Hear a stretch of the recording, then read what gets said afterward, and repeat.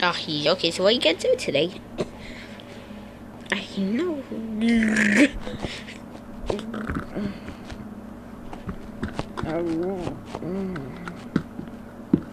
Alright.